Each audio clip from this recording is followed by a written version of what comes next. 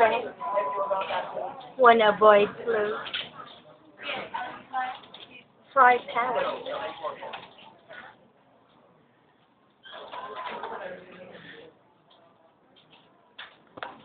It worked.